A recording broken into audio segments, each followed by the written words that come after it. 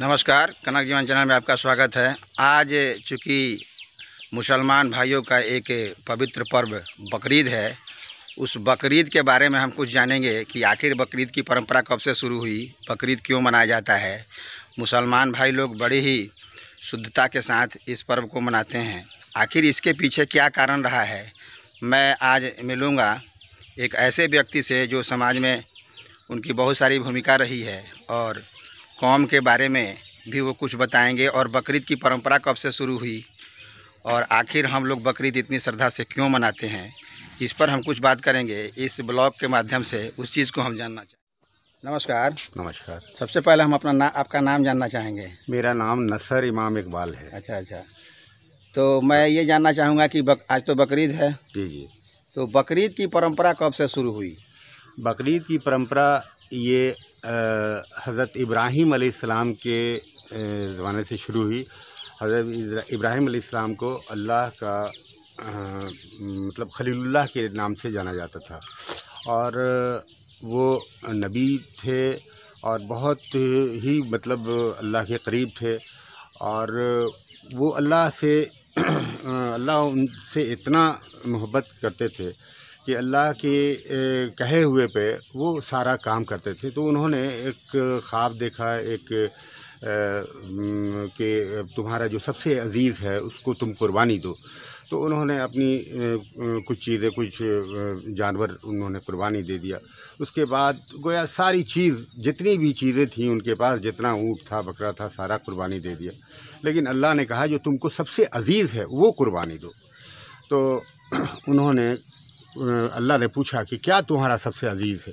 तो उन्होंने बताया कि हमारा सबसे अज़ीज़ हमारा बेटा हज़रत इस्माईल अलैहिस्सलाम है। तो उन्होंने कहा कि उसकी कुर्बानी दो और नबी इब्राहीम अलैहिस्सलाम अपने बेटे से कहते हैं कि, बेटा, अल्लाह के नाम पे तुमको कुर्बान होना है। तो उस वक्त इस्माईल अलैहिस्सलाम ने कहा कि अब्बा जान, मैं तैयार हूँ। चलें आप कुर्बान का और ले कर के वो चले गए कुर्बानी देने। और उसी असना में जो है, जब वो कुर्बानी दे रहे थे तो उनके बेटे इस्माईल अलैहिस्सलाम ने कहा कि, अब्बा, आप हमें अपने कान पे, अपने आँख पे पट्टी बाँध लें आप।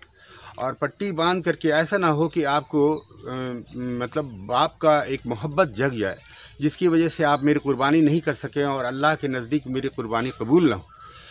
तो उन्होंने वैसे ही किया, लेकिन उसी वक्त जो है, वो छुरी उनके हाथ से छटक गई और वहाँ पे जब ज़बह किया उन्होंने तो उस वक्त जो है आँख खोला तो देखा कि वो दुम्बा पड़ा हुआ है। तो कुर्बानी भी हो गई और अल्लाह ने कबूल भी कर लिया। तो ये कुर्बानी का मतलब मेन ये है, इसी ईद अज़हा के नाम से जानते हैं हम सभी मुसलमान।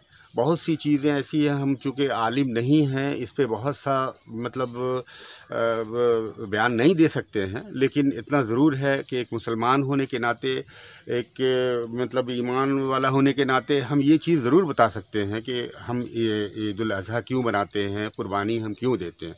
तो उसी परंपरा को लेकर के हज़रत इब्राहिम अलैहिस्सलाम की, हज़रत इब्राहिम इस्माईल अलैहिस्सलाम की इस परंपरा को लेकर के आज तक हमारे जो नबी पैगंबर मोहम्मद सल्लल्लाहु अलैहि वसल्लम जो हैं, उन्होंने इस पैगाम को दिया और कुरान में और हदीस में ये सारी चीज़ें वाज़े हुई और उस चीज़ को आज हम लोग बहुत इससे बनाते हैं, खैर खूबी से बनाते हैं।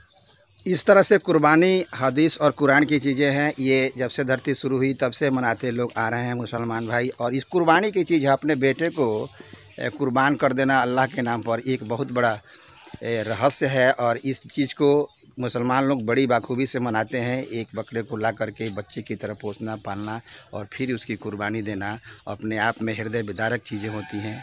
वैसे सब धर्म में धर्म के प्रति संपन्नता या धर्म के प्रति निछावर हो जाना ये सारा धर्म सिखाता है। उसी तरह से कुर्बानी के रूप में यह मुसलमान भाई लोग मनाते हैं और बड़ा ही पवित्र है। अच्छा एक चीज़ मैं आपसे और जानना चाहूँगा कि इसमें चूँकि हर तबके के लोग हैं तो जिनके पास वो कुर्बानी देने की क्षमता नहीं है वो इस पर्व को किस तरह से मनाएँगे और क्या करेंगे? देखिए कुर्बानी किसी चीज़ की कुर्बानी होती है। मसलन ये कि कोई अपने बाल और दाढ़ी की कुर्बानी। वालेकुम अस्सलाम वरहमतुल्लाह। आप देख सकते हैं ये सुबह का मुबारकबाद है कुर्बानी के लिए। तो इस तरह से मैं जानना चाहूँगा आपसे भी कि कुर्बानी अगर जिनके पास वो समर्थता नहीं है वो इस चीज़ को किस तरह से अदा करते हैं?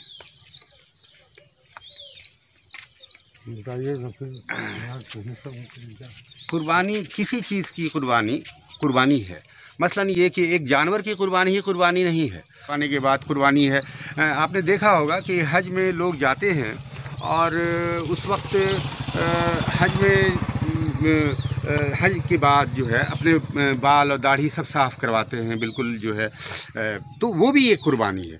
तो अगर किसी के पास कुर्बान गाह जाने का मेरा मतलब कुर्बानी करने का कुछ नहीं है तो जैसे चाहे कुर्बानी दे, जो चाहे कुर्बानी दे, एक अंडे की कुर्बानी दे दे, किसी गरीब को दे दे, वो भी कुर्बानी है।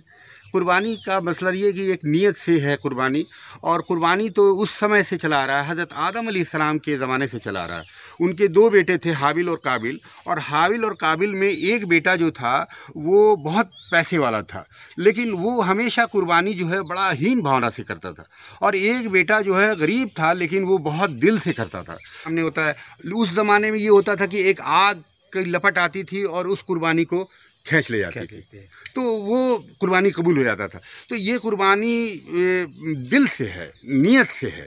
ठीक है ना? इससे नहीं है कि हम जो है ये कुर्बानी कर रहे हैं तो दिखावे के लिए कि हम बड़े बड़े बकरे ज़बह कर दिए और हमने इतने लोगों को खिला दिया और इतना ऐसा कर दिया। ऐसा कुछ भी नहीं है।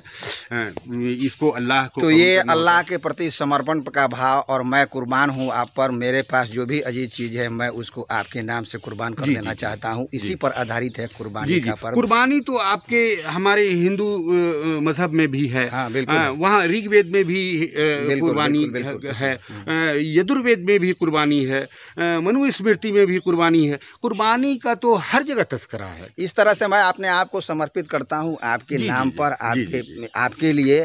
तो वही कुर्बानी है। इस तरह से यह खूबसूरत सा पर्व लोग आज बड़ी हर्षोल्लास के साथ मना रहे हैं हाँ, हाँ। और कोरोना का ध्यान रखते हुए बाहर नहीं बिल्कुल है बाहर नहीं निकल रहे हैं भाईचारे से मिल रहे हैं और हाँ, खुशी। खुशी मना रहे हैं। चलिए आपने इतना बड़ा समय दिया। इसके लिए आपको धन्यवाद। नमस्कार। कनक जीवन पर आप बने रहें और यह अगर आपको अच्छा लगे तो इसको लाइक करें शेयर करें चूँकि आप कुर्बानी है तो ज़्यादा से ज़्यादा मुसलमान भाई इसको देख सकें जी, जी। और इसको समझ सके कि आखिर कुर्बानी क्यों मनाई जाती है इसमें कितनी शुद्धता है। ये परंपरा रही है मुसलमान भाइयों की।